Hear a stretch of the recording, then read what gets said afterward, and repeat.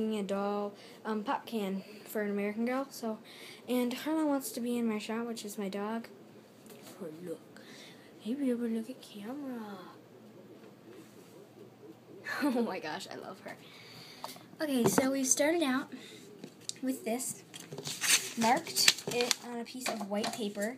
The things you'll need will be paper, tape, scrap cardboard, and yeah.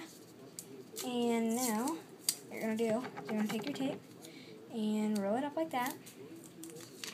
Take your piece of paper that you've measured the size that you need in and wrap it in this paper.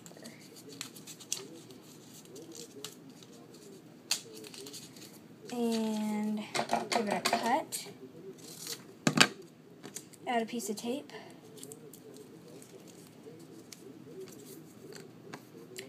And, um, well, I'll put another two halves of the video again, so watch out for part um, two and three more.